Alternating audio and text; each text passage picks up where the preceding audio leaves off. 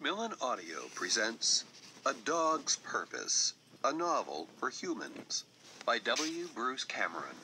Read for you by William Dufresne. To Catherine, for doing everything, for being everything. 1. One day it occurred to me that the warm, squeaky, smelly things squirming around next to me were my brothers and sister. I was very disappointed. Though my vision had resolved itself only to the point where I could distinguish fuzzy forms in the light, I knew that the large and beautiful shape with the long, wonderful tongue was my mother. I had figured out that when the chill air struck my skin, it meant she had gone somewhere. But when the warmth returned, it would be time to feed. Often finding a place to suckle meant pushing aside what I now knew was the snout of a sibling seeking to crowd me out of my share, which was really irritating. I couldn't see that my brothers and sister had any purpose whatsoever. When my mother licked my stomach to stimulate the flow of fluids from under my tail, I blinked silently beseeching her to please get rid of the other puppies for me. I wanted her all to myself. Gradually, the other dogs came into focus, and I grudgingly accepted their presence in the nest. My nose soon told me I had one sister and two brothers. Sister was only slightly less interested in wrestling with me than my brothers, one of whom I thought of as fast, because he somehow always moved more quickly than I could. The other one I mentally called hungry, because he whimpered whenever mother was gone and would suckle her with an odd desperation, as if it were never enough.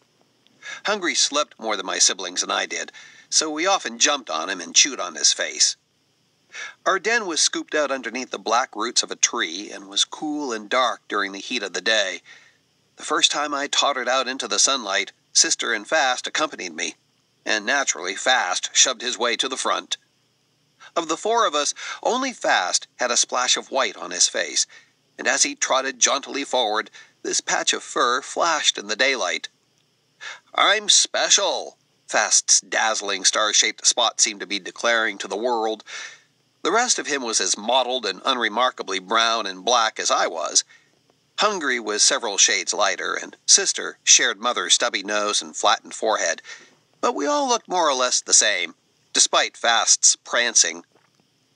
Our tree was perched on a creek bank, and I was delighted when Fast tumbled head over heels down the bank, though Sister and I plummeted with no more grace when we tried to make the same descent. Slippery rocks and a tiny trickle of water offered wonderful odors, and we followed the wet trail of the creek into a moist, cool cave, a culvert with metal sides. I knew instinctively that this was a good place to hide from danger, but Mother was unimpressed with our find and hauled us unceremoniously back to the den when it turned out our legs weren't powerful enough to enable us to scale back up the bank. We had learned the lesson that we couldn't return to the nest on our own when we went down the bank, so as soon as Mother left the nest, we did it again. This time Hungry joined us, though once he was in the culvert, he sprawled in the cool mud and fell asleep. Exploring seemed like the right thing to do. We needed to find other things to eat. Mother, getting impatient with us, was standing up when we weren't even finished feeding, which I could only blame on the other dogs. If Hungry weren't so relentless, if Fast weren't so bossy, if Sister didn't wiggle so much, I knew Mother would hold still and allow us to fill our bellies. Couldn't I always coax her to lie down, usually with a sigh, when I reached up for her while she stood above us? Often Mother would spend extra time licking Hungry while I seethed at the injustice. By this time, Fast and Sister had both grown larger than I. My body was the same size, but my legs were shorter and stubbier. Hungry was the runt of the litter, of course, and it bothered me that Fast and Sister always abandoned me to play with each other, as if Hungry and I belonged together out of some sort of natural order in the pack. Since Fast and Sister were more interested in each other than the rest of the family, I punished them by depriving them of my company, going off by myself deep into the culvert. I was sniffing at something deliciously dead and rotten one day when right in front of me a tiny animal exploded into the air. A frog. Delighted, I leaped forward, attempting to pounce on it with my paws, but the frog jumped again. It was afraid, although all I wanted to do was play and probably wouldn't eat it. Fast and Sister sensed my excitement and came stampeding into the culvert, knocking me over as they skidded to a stop in the slimy water. The frog hopped and Fast lunged at it, using my head as a springboard. I snarled at him, but he ignored me. Sister and Fast fell all over themselves to get at the frog, who managed to land in a pool of water and kick away in silent, rapid strokes. Sister put her muzzle in the pond and snorted, sneezing water over Fast and me. Fast climbed on her back, the frog, my frog, forgotten. Sadly, I turned away. It looked as though I lived in a family of dimwits. I was to think of that frog often in the days that followed, usually just as I drifted off to sleep. I found myself wondering how it would have tasted. More and more frequently, Mother would growl softly when we approached, and the day she clicked her teeth together in warning when we came at her in a greedy tumble, I despaired that my siblings had ruined everything. Then Fast crawled to her, his belly low, and she lowered her snout to him. He licked her mouth, and she rewarded him by bringing up food, and we rushed forward to share. Fast pushed us away, but we knew the trick now and when I sniffed and licked my mother's jaws, she gave me a meal. At this point, we had all become thoroughly familiar with the creek bed and had tracked up and down it until the whole area was redolent with our odors. Fast and I spent most of our time dedicated to the serious business of play, and I was beginning to understand how important it was to him for the game to wind up with me on my back, his mouth chewing my face and throat. Sister never challenged him. But I still wasn't sure I liked what everyone seemed to assume was the natural order of our pack. Hungry, of course, didn't care about his status, so when I was frustrated, I bit his ears. One afternoon I was drowsily watching Sister and Fast yank on a scrap of cloth they had found when my ears perked up. An animal of some kind was coming, something large and loud. I scrambled to my feet but before I could race down the creek bed to investigate the noise, Mother was there, her body rigid with warning. I saw with surprise that she had Hungry in her teeth, carrying him in a fashion that we'd left behind weeks ago. She led us into the dark culvert and crouched down, her ears flat against her head. The message was clear, and we heeded it, shrinking back from the tunnel opening in silence. When the thing came into view, striding along the creek bed, I felt Mother's fear ripple across her back. It was big. It stood on two legs, and an acrid smoke wafted from its mouth as it shambled toward us. I stared intently, absolutely fascinated. For reasons I couldn't fathom, I was drawn to this creature, compelled and I even tensed, preparing to bound out to greet it. One look from my mother, though, and I decided against it. This was something to be feared, to be avoided at all costs. It was, of course, a man, the first one I'd ever seen. The man never glanced in our direction. He scaled the bank and disappeared from view, and after a few moments, Mother slid out into the sunlight and raised her head to see if the danger had passed. She relaxed then and came back inside, giving each of us a reassuring kiss. I ran out to see for myself and found myself disheartened when all that remained of the man's presence was a lingering scent of smoke in the air. Over and over again the next few weeks, Mother reinforced the message we'd all learned in that culvert avoid men at all costs, fear them. The next time Mother went to hunt, we were allowed to go with her. Once we were away from the security of the den, her behavior became timid and skittish, and we all emulated her actions. We steered clear of open spaces, slinking along next to bushes. If we saw a person, Mother would freeze, her shoulders tense, ready to run. At these times, Fast's patch of white fur seemed as obtrusive as a bark, but no one ever noticed us. Mother showed us how to tear into the filmy bags behind houses, quickly scattering inedible papers and revealing chunks of meat, crusts of bread, and bits of cheese, which we chewed to the best of our ability. The tastes were exotic, and the smells were wonderful. But Mother's anxiety affected all of us, and we ate quickly, savoring nothing. Almost immediately, Hungry brought up his meal, which I thought was pretty funny, until I too felt my insides gripped in a powerful spasm. It seemed to go down easier the second time. I'd always been aware of other dogs, though I'd never personally met any except those in my own family. Sometimes, when we were out hunting, they barked at us from behind fences, most likely jealous that we were trotting around free while they were imprisoned. Mother, of course, never let us approach any of the strangers, while Fast usually bristled a little, somehow insulted that anybody would dare call out to us while he lifted his leg on their trees. Occasionally, I even saw a dog in a car. The first time this happened, I stared in wonderment at his head hanging out the window, tongue lolling out. He barked joyously when he spotted me, but I was too astounded to do anything but lift my nose and sniff in disbelief. Cars and trucks were something else Mother evaded, though I didn't see how they could be dangerous if there were sometimes dogs inside them. A large, loud truck came around frequently and took away all the bags of food people left out for us, and then meals would be scarce for a day or two. I didn't like that truck, nor the greedy men who hopped off it to scoop up all the food for themselves, despite the fact that they and their truck smelled glorious. There was less time for play now that we were hunting. Mother snarled when Hungry tried to lick her lips, hoping for a meal, and we all got the message. We went out often, hiding from sight, desperately searching for food. I felt tired and weak now, and didn't even try to challenge Fast when he stood with his head over my back, thrusting his chest at me. Fine, let him be the boss. As far as I was concerned, my short legs were better suited for the low, slinking run our mother had taught us anyway. If Fast felt he was making some sort of point by using his height to knock me over, he was fooling himself. Mother was the dog in charge. There was barely room for all of us underneath the tree now, and Mother was gone for longer and longer periods of time. Something told me that one of these days she wouldn't come back. We would have to fend for ourselves, Fast always pushing me out of the way, trying to take my share.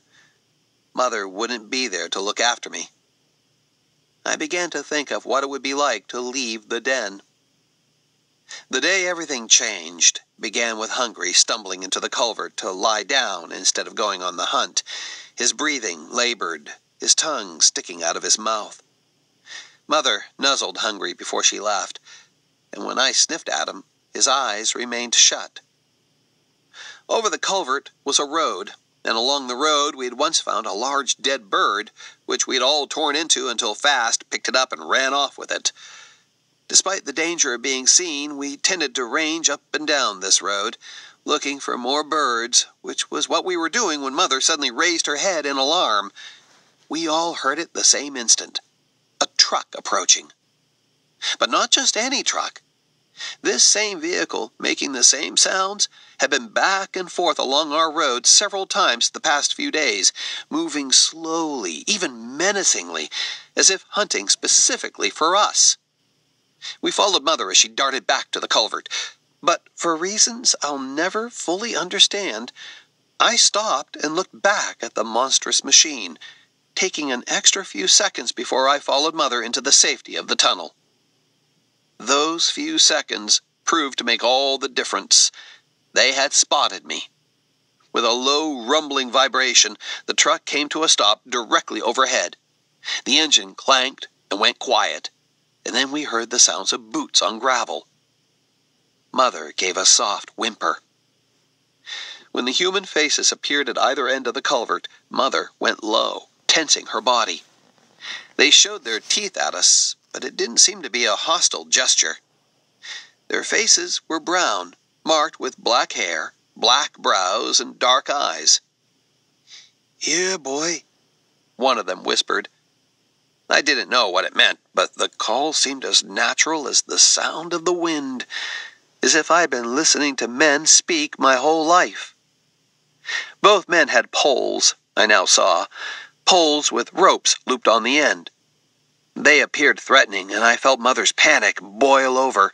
Her claws scrabbling, she bolted, her head down, aiming for the space between the legs of one of the men. The pole came down, there was a quick snap, and then my mother was twisting and jerking as the man hauled her out into the sunlight. Sister and I backed up, cowering, while Fast growled, his fur bristling on the back of his neck. Then it occurred to all three of us that while the way behind us was still blocked, the tunnel mouth in front of us was now clear. We darted forward. Here they come! The man behind us yelled. Once out in the creek bed, we realized we didn't really know what to do next. Sister and I stood behind fast. He wanted to be the boss, so okay, let him deal with this. There was no sign of Mother. The two men were on opposite banks, though, each wielding his pole. Fast dodged one, but then was snagged by the other. Sister took advantage of the melee to escape, her feet splashing in the water as she scampered away. But I stood rooted, staring up at the road. A woman with long white hair stood there above us, her face wrinkled in kindness. Here, puppy. It's okay. You'll be all right. Here, puppy, she said. I didn't run. I didn't move. I allowed the loop of rope to slip over my face and tighten on my neck. The pole guided me up the bank, where the man seized me by the scruff of the neck. Hmm, he's okay. He's okay, the woman crooned. Let him go. He'll run off, the man warned. Let him go. I followed this bit of dialogue without comprehension, only understanding that somehow the woman was in charge though she was older and smaller than either of the two men. With a reluctant grunt, the man lifted the rope off my neck. The woman offered her hands to me, rough, leathery palms, coated with a flowery smell. I sniffed them, then lowered my head. A clear sense of caring and concern radiated off of her. When she ran her fingers along my fur, I felt a shiver pass through me. My tail whipped the air of its own accord, and when she astonished me by lifting me into the air, I scrambled to kiss her face, delighting in her laughter. The mood turned somber when one of the men approached, holding Hungry's limp body. The man showed it to the woman, who clucked mournfully. Then he took it to the truck where Mother and Fast were in a metal cage and held it up to their noses. The scent of death, recognizable to me as any memory, wafted off of Hungry in the dry, dusty air. We all carefully smelled my dead brother, and I understood the men wanted us to know what had happened to Hungry. Sadness came from all of them as they stood there silently in the road, but they didn't know how sick Hungry had been sick from birth, and not long for the world. I was put in the cage, and Mother sniffed disapprovingly at the woman's smell, which had been pressed into my fur. With a lurch, the truck started up again. Then I was quickly distracted by the wonderful odors flowing through the cage as we moved down the road. I was riding in a truck! I barked in delight, Fast and Mother jerking their heads in surprise at my outburst. I couldn't help myself. It was the most exciting thing that had ever happened in my whole life, including almost catching the frog.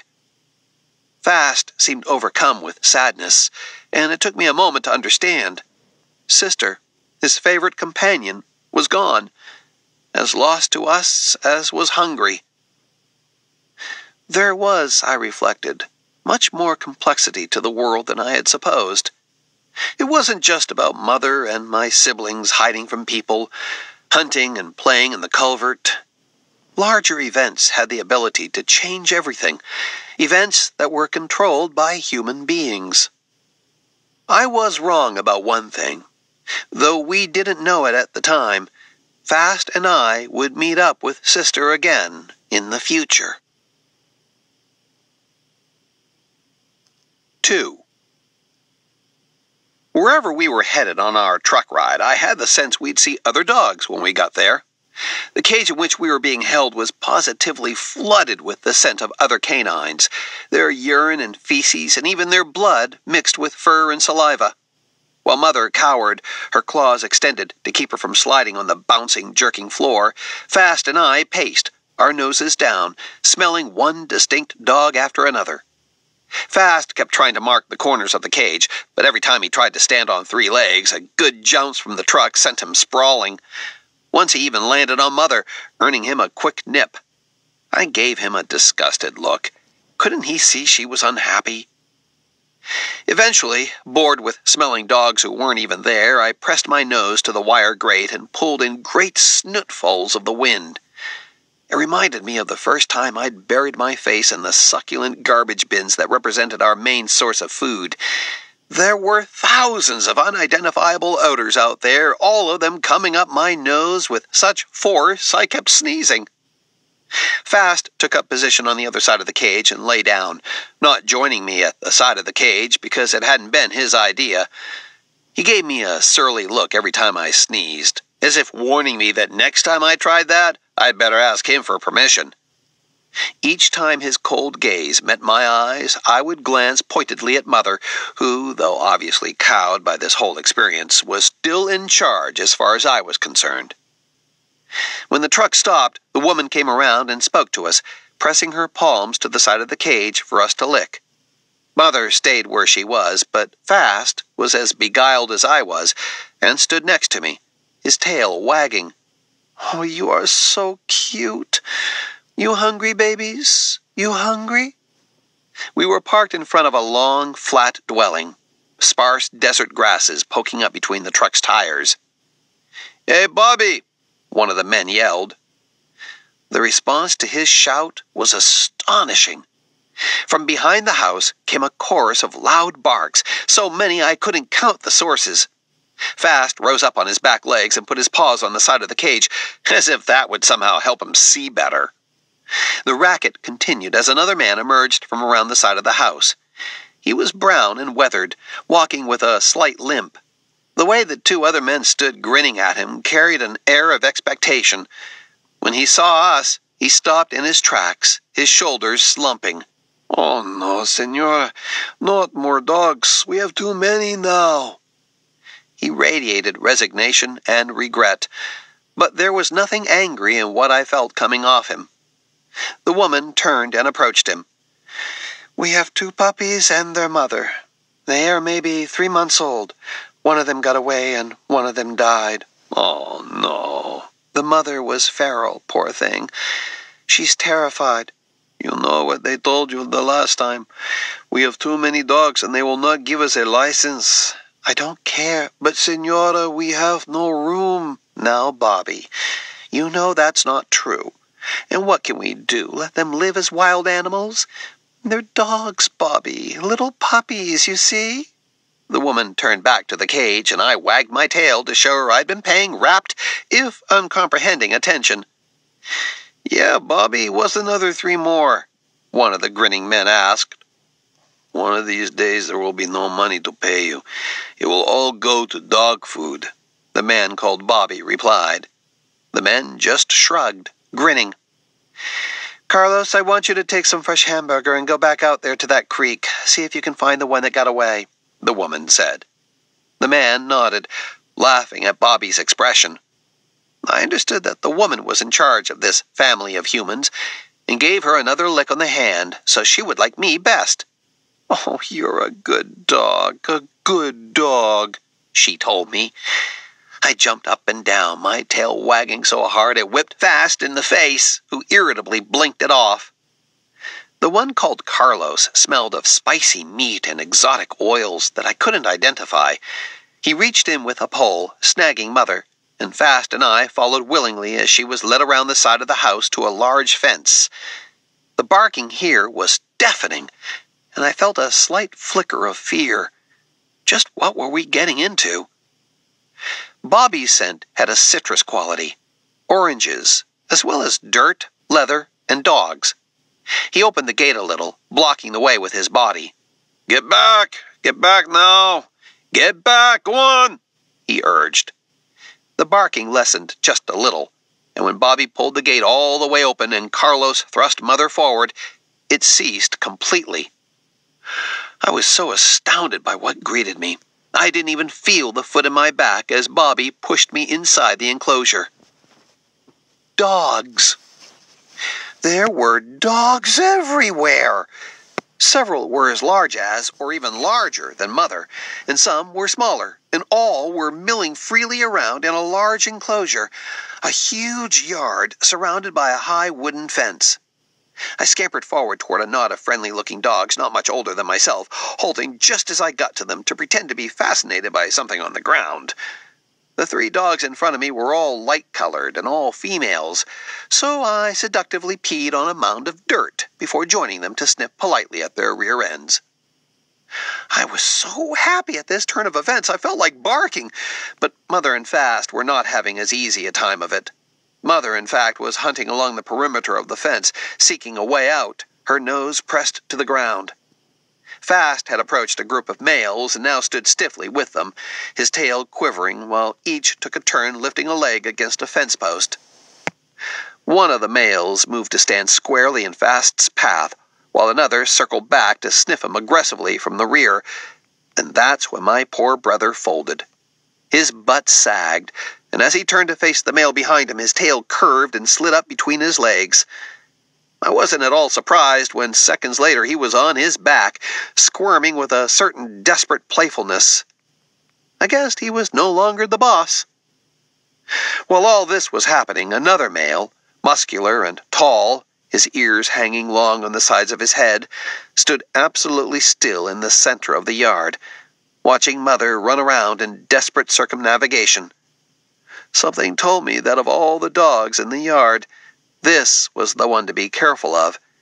And sure enough, when he broke from his rigid stance and padded over toward the fence, the dogs, surrounding fast, stopped messing around and raised their heads alertly.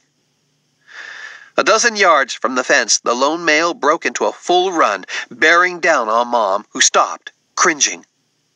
The male braced her with his shoulders, blocking her, his tail straight as an arrow. She let herself be sniffed up and down the length of her body, still crouched against the fence. It was my impulse, and I am sure it was also Fast's, to rush to her aid, but I somehow knew this would be wrong. This was the top dog, this male, a thick boned mastiff with a brown face and dark, roomy eyes. Mother's submission was simply the natural order. After his careful examination, Top Dog aimed an economical stream of urine against the fence, which Mother dutifully examined, and then he trotted off, paying her no more attention. Mother herself seemed deflated and slid off unnoticed to hide behind a pile of railroad ties. In due course, the pack of males came over to check me over as well, but I crouched low and licked them all in the face, letting them know in no uncertain terms that they'd have zero problems with me. It was my brother who was the troublemaker.